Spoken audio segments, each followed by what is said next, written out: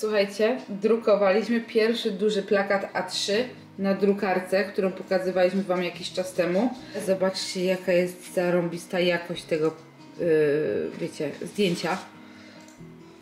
Kolory są takie mega intensywne. I Krzyś jeszcze wydrukował jakieś zdjęcie, które miał.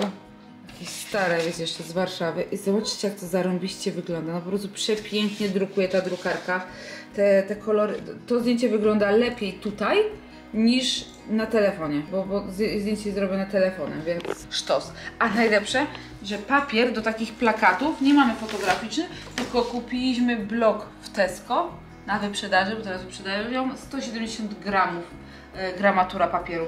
E, I to jest blok techniczny jakby i super, świetnie się sprawdza.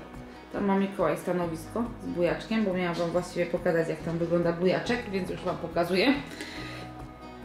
I jest to Kindercraft Lumi. Nam się go udało kupić, słuchajcie, na OLX-ie jak nowy. Normalnie są po 400, 450 zł, a myśmy dorwali nowy za 200, więc mega czat.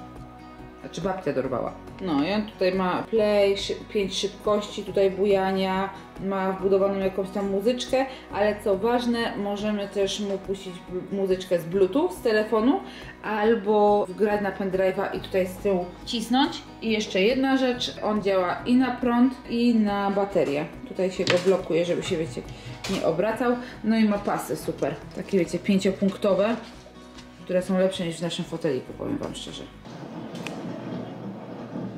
Misiek! Misiek, chodź tu szybko! Szybko! Nie wiem co się dzieje, ale to się dzieje w rurach. Co? Piec. Pójdź wodę.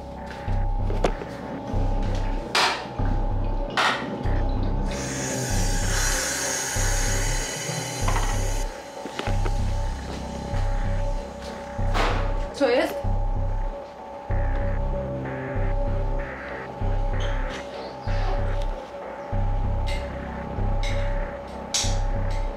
Co się dzieje? Nie wiem, szuszczy tak po, po rurach. Który? Teraz przestało.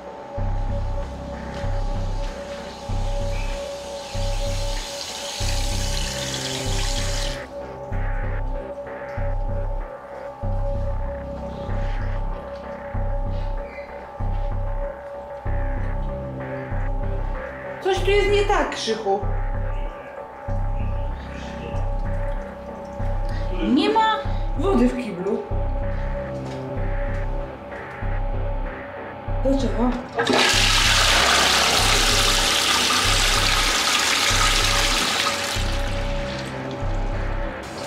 Żeby wody w kiblu brakło, to ja nie rozumiem. No i co tak zaczęło capić syfonem? Ale tu słuchaj taki... No, no, no. To, co mówiłeś, że jest taki dziwny szum, No. no to chyba to, to, to bo, bo, bo, bo To może coś nie robią jeździł. i odsysali kupy? Myślę, że się nic zrąbało, bo tak kiepsko bez kibla. Stres był. Minął. Już.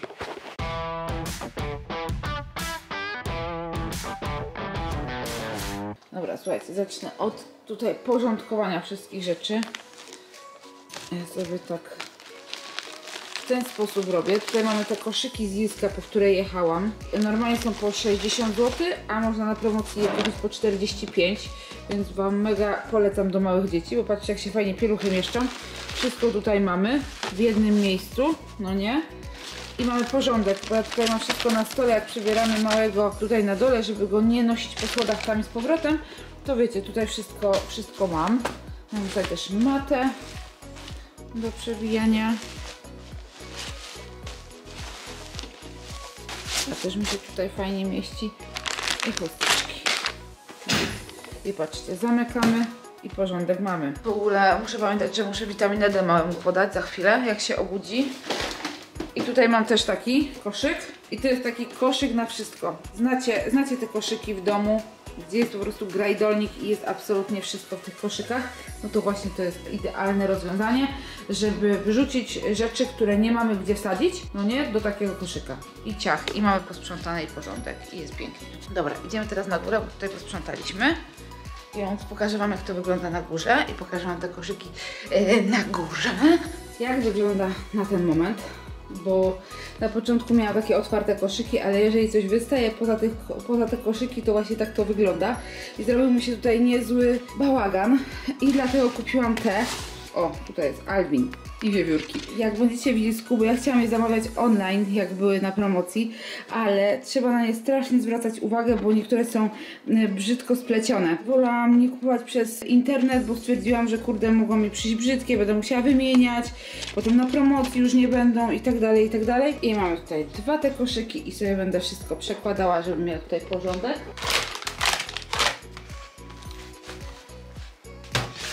Zamykamy. Z drugiego koszyka. Szkoda, że się mi to tylko nie mieści, wiecie, na stojąco wszystko. Byłoby fajnie. Ale niestety jest ciutkę za małe.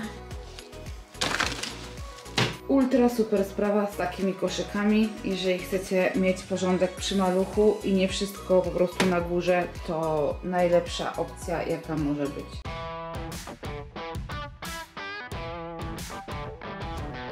Wrócę jeszcze do tej kurtki nieszczęsnej jeansowej, o co właściwie chodzi. Jest sztos, jest sztos. Jestem tak zakochana w tym kolorze, że pół garderoby w tej jesieni będzie właśnie pomarańczowe, znaczy musztardowe. Wczoraj przymierzałam kurtkę jeansową, taką wiecie, luźną, oversize'ową, chciałam taką kupić i tutaj właśnie taką niby zamówiłam, zobaczymy czy będzie. Pokazuje się mojemu mężowi, taki, ona była taki ciemny, niebieski, nie podobał mi się ten kolor do końca e, i pokazuję mu, no jak Ci się podoba, a mój mąż, a co teraz panuje, na żula, także no tak mnie skwitował, a mi się podoba, jak dziewczyny noszą takie luźne kurtki, a ja wyglądam właśnie jak moda na żula. Tu jest o Jezus, ale śmierdzi. Ktoś ostro pali w domu, gdzie była ta kurtka. To, to jest tak, że o Jezu. Tej to nie przymierzę. Ale wiecie, oversize'owa kurtka z tym zapachem to normalnie... Jednak mój mąż sobie to modę na żula wykrakał. Muszę to wynieść z garderoby, bo chyba mi wszystko tu prześmierdnie. Ręce mi śmierdzą. O! Jezus. Ona leżała w popielniczce? Czy co? Jesus! Fuj! Jej! E, cieszcie się, że ekran nie przynosi zapachu. Przerywam ideę, ale zapię. Fuj, fuj, fuj, fuj. Nie wiem, czy przypadkiem nie spalić. Nie, Wszystko, akurat pranie włączyłam i suszarka idzie i... Może samą ją wypiorę. No niby kurtkę wyniosłam, a niesmak pozostał. Normalnie powiem wam, że pierwszy raz mi się coś takiego zdarzyło. Wsadziłam ją tak jak mi polecałyście, bo od razu dostałam w masę wiadomości, żebym broń Boże nie wkładała takiej śmierdzącej kurtki z resztą ubrań do pralki od razu, tylko żebym ją namoczyła, bo wszystkie ubrania mi tym przejdą. Powiem wam, że ona tak okropnie śmierdziała papierochami. Ja napisałam do tej dziewczyny i mówię jej, że paczka przyszła. Nie mam pojęcia jak kurtka leży, bo kurtka tak śmierdziała, że trzeci dzień moczę ją w płynie do płukania i wymieniam go, żeby ten zapach trochę uwolnić, znaczy wy, wywabić.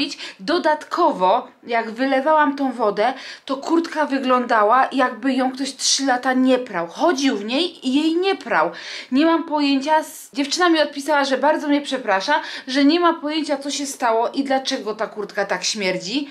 Gdzie no nie jest możliwe, niestety, Niestety, no nie jest możliwe, żeby ona prześmierdnęła na przykład na busie u kuriera, bo on tak kopci i pali.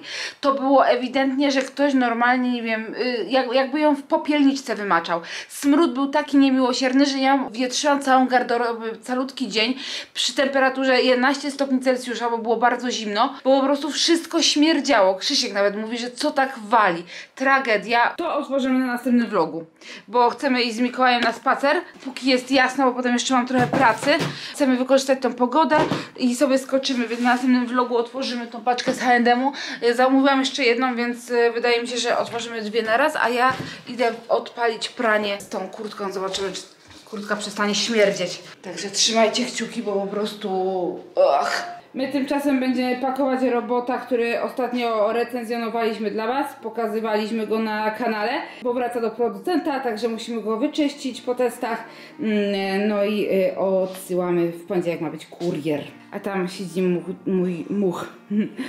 Moich dwóch cudownych mężczyzn. Zbieramy się. Tata jest obrzygany znowu. To jest zawsze brzygane. Mama też. Mama też. Mama nawet z Zary kupiła takie ubrania, żeby nie było widać, że jest obrzygana. Ale to film macie tutaj. No to zawsze, dobra. nie? Mieliśmy jeden smoczek i cały czas był. No nie, potem były dwa smoczki i tak e, jeden żeśmy bardzo szybko zgubili i mieliśmy dalej jeden smoczek. Teraz mamy trzy smoczki w domu i to mamy dwa smoczki. O jeden się zgubił.